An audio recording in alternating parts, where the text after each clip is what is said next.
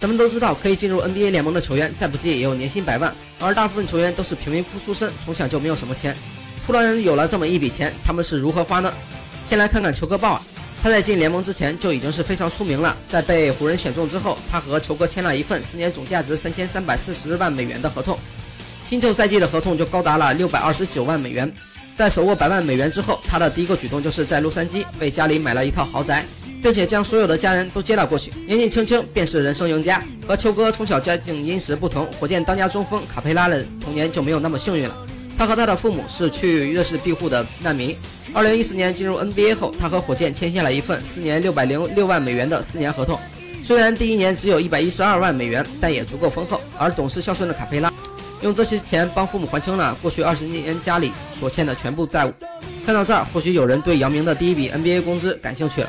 实际上，姚明的第一笔工资让他非常愤怒，因为当时的姚明身背上海的合同，双方以不到一百万的价格达成买断协议，而当时篮协提出百分之五十一千万美元的抽成，而姚明甚至用推选来威胁，最终经过谈判降低到每年百分之五才放行。